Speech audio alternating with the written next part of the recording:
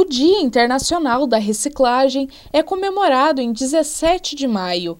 A data foi instituída pela Organização das Nações Unidas para a Educação, a Ciência e a Cultura e busca estimular a reflexão sobre a importância de fazer o descarte correto dos itens que consumimos. Segundo o levantamento do Fundo Mundial para a Natureza, o Brasil é o quarto produtor de lixo plástico do mundo. Os aterros sanitários continuam sendo o destino da maior parte dos resíduos ocasionando graves prejuízos ao meio ambiente e à qualidade de vida da população. Alguns materiais levam anos para se decompor, ou às vezes até décadas, como descartáveis, fraldas e copos de plásticos, por exemplo. A reciclagem é o processo em que há a transformação do resíduo sólido, que não seria aproveitado, com mudanças em seu estado físico, físico-químico ou biológico, de modo a atribuir características ao resíduo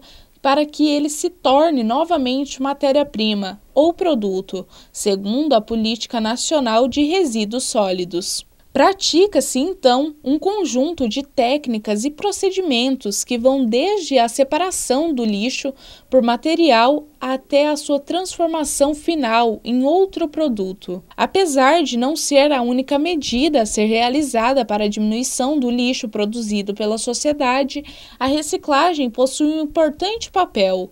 Quanto mais se recicla, mais se reaproveita e, consequentemente, menor é a necessidade de extrair novos materiais da natureza.